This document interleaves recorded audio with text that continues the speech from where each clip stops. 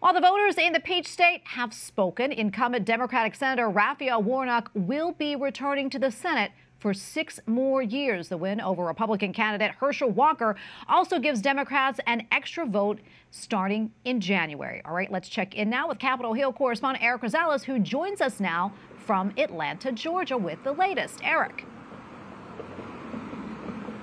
Well, good evening, Tracy. All you can say is what a night. It was literally like watching a horse race in the Kentucky Derby. The lead changed several times throughout the night. It took nearly four hours after the polls closed.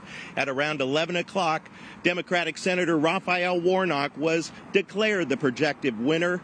He then headed off to the stage to thank the voters in Georgia. it, it is my honor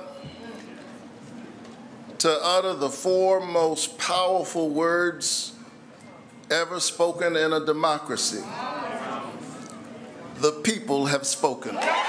And spoken they did. On election day alone, a record 1.4 million Georgians went to the polls after nearly 2 million more voted early. Senator Warnock thanked those who stood in long lines and claimed the Republican tricks didn't work.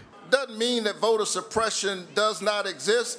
It simply means that you, the people, have decided that your voices will not be silenced. In a concession speech, political newcomer Herschel Walker thanked God for the opportunity and then went on to say, But one of the things I want to tell all of you is you never stop dreaming. I don't want any of you to stop dreaming. I don't want any of you to stop believing in America. I want you to believe in America and continue to believe in the Constitution and believe in our elected officials most of all. During the campaign, both candidates received a substantial amount of outside help from national organizations. The finger pointing among Republicans is already starting. Some claim the GOP didn't do enough financially to help the Walker campaign.